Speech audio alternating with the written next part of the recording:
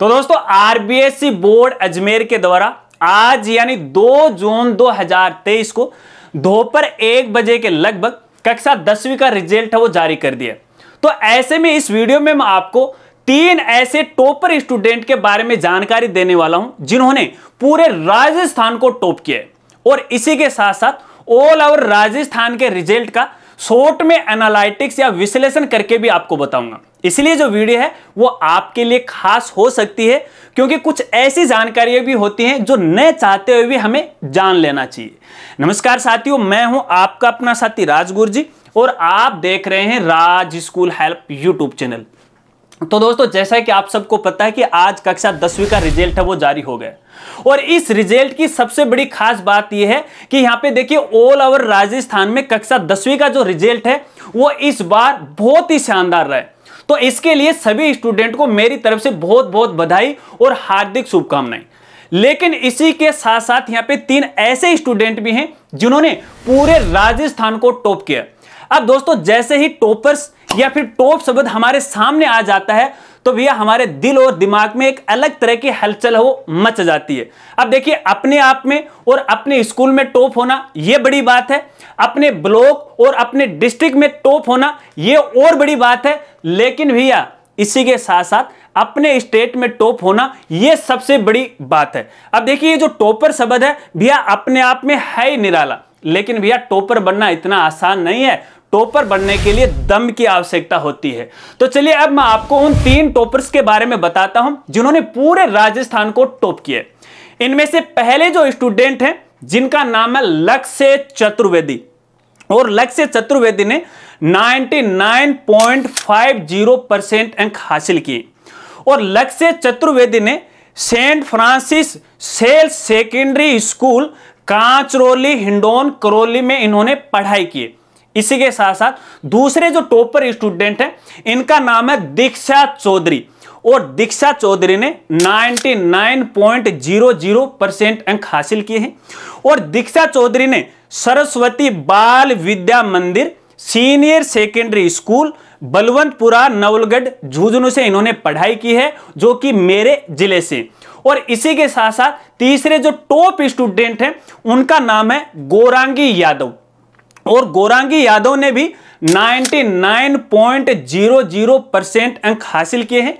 और गोरांगी यादव ने Kiran Bal Bharti senior secondary school Govindpura Kalwara road Jaipur में इन्होंने पढ़ाई की है।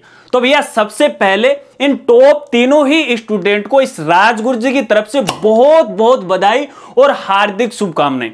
राजगुरु जी ईश्वर से यह कामना करता है कि आप इसी तरह से है, वो आगे बढ़ते जाएगा। और इसी के साथ साथ ये जो तीनों स्कूल हैं, जिन्होंने टॉपर्स दिए हैं, इन स्कूल के डायरेक्टर महोदय और सभी स्टाफ को भी मेरी तरफ़ से बहुत बहुत बधाई और आप सबके लिए दिल से धन्यवाद, क्योंकि आपने बहुत बड़ी अच्छी मेहनत की है और भैया, इस बार आपने राजस्थान को है, वो टॉप कर दिया। अब दोस्तों, ये तो है वो तीन टॉपर स्टूडेंट। लेकिन वीडियो में आगे बढ़ने से पहले एक जानकारी मैं आपको देना चाहूँगा। देखिए, इस वीडियो को ज़्यादा से ज़्यादा अपने दोस्तों में शेयर कीजिएगा। अब दोस्तों, आपको यहाँ पे पता है कि देखिए, राजस्थान सरकार के द्वारा या फिर आरबीएससी बोर्ड के द्वारा जो टॉप स्टूडेंट रहते हैं, उनको कई तरह की स्कॉलरशिप है, वो दी जाती है। तो शायद हो सकता है कि इन स्टूडेंट को या फिर इन गार्जियन को है, इन स्कॉलरशिप की जानकारी है, वो शायद नहीं होगी। तो ऐसे में ये सूचना आप उन तक पहुंचाओगे ताकि वो मेरे साथ वो जुड़ जाए अपने चैनल के माध्यम से। या फिर अपने इंस्टाग्राम अकाउंट के माध्यम से फेसबुक है, या फिर मेल के द्वारा अगर वो मेरे साथ जुड़ जाते हैं तो उन सभी स्टूडेंट को मेरे द्वारा स्कॉलरशिप के बारे में टोटल जानकारी है। वो बिल्कुल फ्री ऑफ़ कॉस्ट है, वो दी जाएगी। किसी प्रकार से उनसे कोई शुल्क है, वो नहीं लिया जाएगा। कोई अगर ये सोच रहा है कि राजगुरु जी, वो शुल्क लेने के लिए ऐसा कराने ऐसा बिल्कुल भी नहीं है। क्योंकि यार, ये हमारे राजस्थान के सितारे हैं, और इन सितारों के लिए हरदम है, मैं आगे है, वो आता रहूँगा, और इनकी मदद है, वो करता रहूँगा, कैसे भी करके ये सूचना है, उन तक आप ज़रूर पहुंचाएगा। इस वीडियो का वो ज़रूर शेयर कीजिएगा। चलिए अब यहाँ पे मैं शॉर्ट में इस रिज़ल्ट का एनालिटिक्स है या विश्लेषण करके भी आपको बता देता हूँ कि इस बार अपने पूरे राजस्थान का कक्षा दसवीं का रिज़ल्ट है वो किस प्रकार का रहा है। तो दोस्तों, यहाँ पे देखिए, मैंने शुरुआत में भी आपको बताया था कि इस बार यहाँ पे अपने राजस्थान में जो दसवीं का रिज़ल्ट है वो बड़ा ही यहाँ पे शानदार रहा है। इस बार यहाँ पे पिछले साल की तुलना में यहाँ पे तकरीबन सेवन जो रिज़ल्ट है वो यहाँ पे अधिक रहा है। और भैया, इस बार भी यहाँ पे देखिए, बालिकाओं ने है वो बाजी मार दी। अगर अपन ऑल ओवर राजस्थान की बात करें तो ऑल ओवर राजस्थान का जो टोटल रिज़ल्ट रहा है वो 90.49 परसेंट यहाँ पे रहा और यहाँ पे देखिए, बालिकाओं का जो परसेंट रहा है, इसमें 91.30 परसेंट रहा है।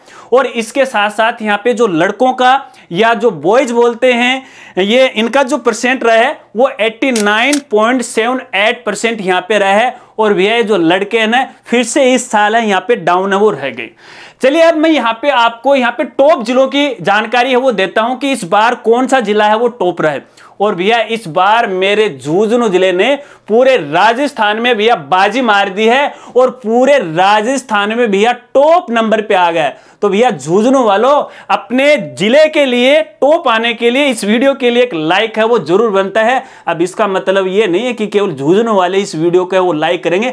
दूसरे ज़िले वाले साथी हैं, वो भी ज़रूर है, वो लाइक कीजिएगा और अपनी राय है, वो ज़रूर दीजिएगा। अगर मैं यहाँ पे देखिए झुंझुनू ज़िले की बात करूँ तो झुंझुनू ज़िले का जो रिज़ल्ट यहाँ पे रहा है, वो 95.7 परसेंट रहा है, जो सबसे ज़्यादा है। और एक नंबर पे है यहाँ पे।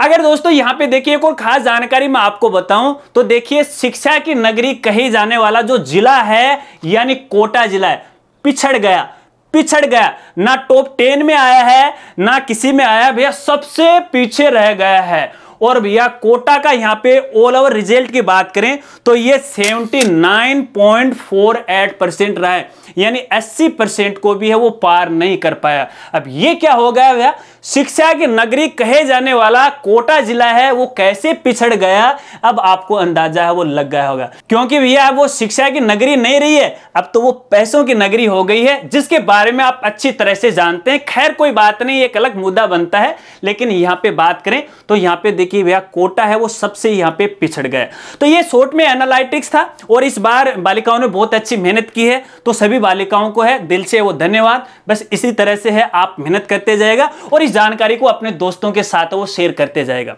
अगर वीडियो जानकारी आपको अच्छी लगी हो तो वीडियो को लाइक कर दीजिएगा शेयर कर दीजिएगा। और इसके अलावा इन तीन टॉपर्स के बारे में आपको क्या कहना है, अपनी राय है कमेंट में ज़रूर बताएगा।